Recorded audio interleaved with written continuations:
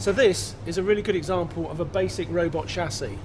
What we've got here, this is actually a four-wheeled chassis. The house robots are all two-wheeled with the uh, extremities supported by casters. This one doesn't need casters because it's got four wheels. It's actually known as a skid steer chassis, but its basic principle and all of its drive gear is exactly the same as a, as a typical robot chassis.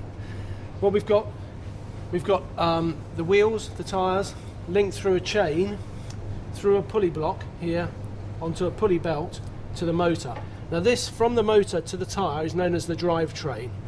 This is replicated on the other side, exactly the same on the other side here, and it's the turning of each motor individually that gives us the actual driving of the robot. So what happens is this motor here starts to turn, turns this belt here, which turns these outside wheels here on this side, and the robot will spin round to the left. Now the control of this side is all done by this clever little device in here. This one is a Vantec speed controller, a very accurate system, and they're very reliable as well. We've been using them in the house robots now for about three or four years, and if they can drive a robot as heavy as Sergeant Bash along, then they can drive most competitors' robots quite happily. we, it's all linked via a safety cutout relay here, so that what happens is if there's a problem with the robot, we can just turn off the whole power supply to the robot via a relay, a safety cutout relay. The other safety device, because in Robot Wars obviously safety is a crucial issue, is the safety link.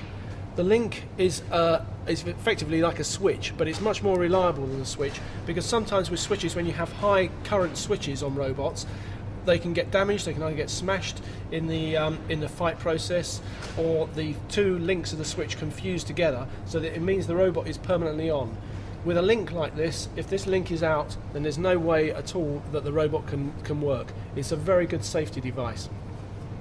So we have our power supply to our speed controller. The whole system is controlled by the trans by um, radio control. This, here it is. In this case, we're um, running on uh, 35 megahertz. This one. Um, we do run on 40 megahertz sometime as well. it's a standard sort of um, eight-channel radio control box. Everything is controlled in this case on the right hand stick. The driving is on the right hand st stick. And uh, that's basically a general sort of uh, robot chassis.